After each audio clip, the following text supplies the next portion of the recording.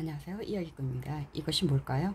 어, 제가 쓰레기통이라고 해야 되나? 하여튼 버려진 어, 금전수 금전수예요. 금전수에서 여러 개를 가져왔으나 와보니까 다 물러 터져서 다 버리고 어, 유일하게 하나 남겨서 했는데 얘가 살았을 것 같아요. 그러니까 여러분 이 제가 이 하는 방법은 뭐냐면 이 가장 윗 가지잖아요.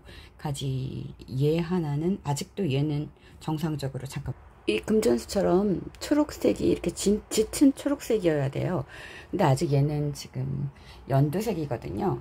이, 어, 지금 금전수는 제가 물산목을 해서 흑산목 하는 게 아니라 얘는 흑산목을 했던 거예요. 어, 지금 5개월 지났으니까 한번 열어볼까요?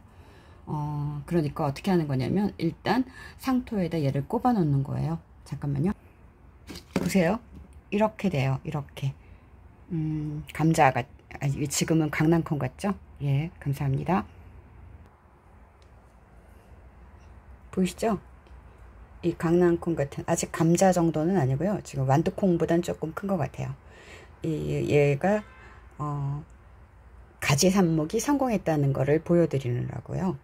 음, 여러분 금전수에서 가지가 꺾어지거나 너무 그 처음 신엽이 나왔을 때 그 연두색인 것들은 이동하다가 꺾이기도 해요. 그러면은 그 꺾인 거 버리지 마시고 그 상토로 해서 싹 넣어놓고 어, 물 관리만 잘 해주시면 이렇게 나요. 아시겠어요?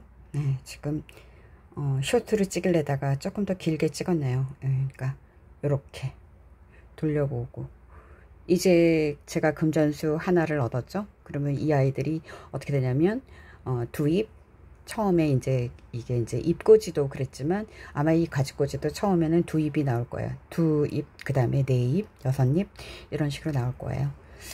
하, 하여튼 오늘은 어, 쓰레기통에서 준 죽어가는 금전수 중에서 하나의 가지가 성공했다는 것을 알려드립니다. 여러분도 금전수가 죽어가면 가지꼬지 입고지 다 해보세요. 감사합니다.